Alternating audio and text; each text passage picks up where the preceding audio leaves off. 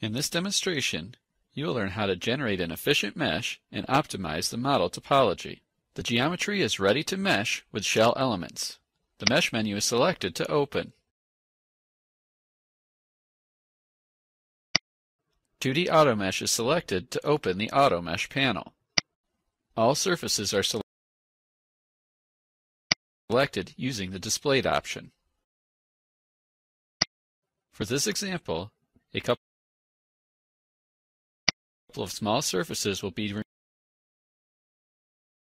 removed from the selection and meshed separately.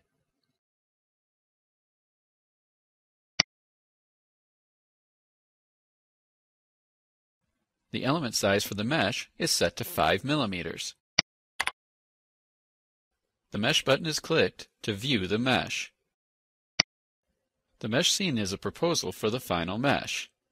The mesh appears too fine, so the size is changed to 10 millimeters. The Recalc All button is clicked to recalculate the mesh with the new element size.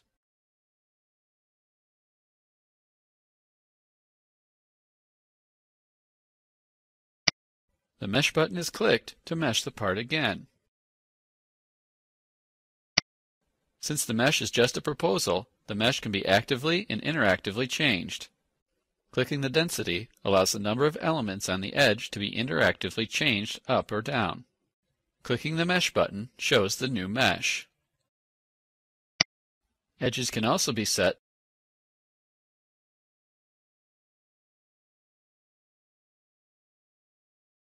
to the number entered into the element density field. With 20 entered, the edges are selected to set the number. Clicking the Mesh button updates the mesh to the new edge densities.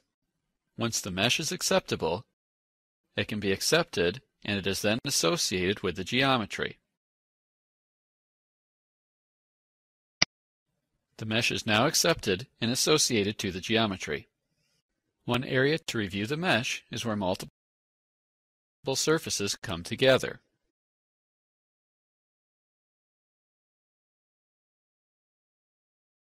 It can now be seen that the surfaces connected by the green lines have coincident nodes as they were connected properly.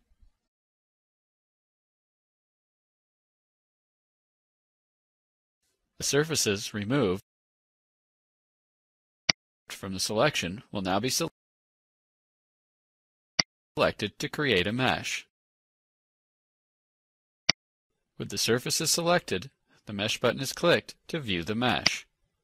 The densities can be adjusted on the new mesh.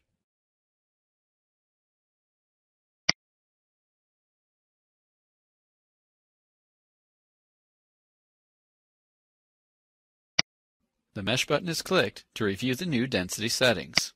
The mesh is accepted for the surfaces by clicking the Return button. At any time, the model can be remeshed, including elements, not just surfaces.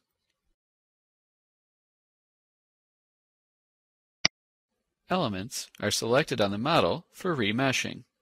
The Mesh button is clicked to remesh the elements. The density is changed to make a better mesh.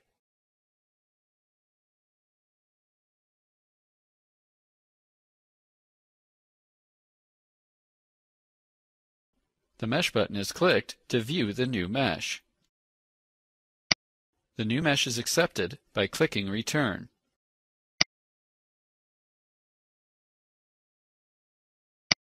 The associativity of the mesh to the geometry is conserved even if the geometry changes. The Quick Edit functionality is used to edit the geometry. The edges of the surface will be suppressed using the Toggle Edge function. Suppressing the edges means they will not be considered by the mesh. The edges are selected to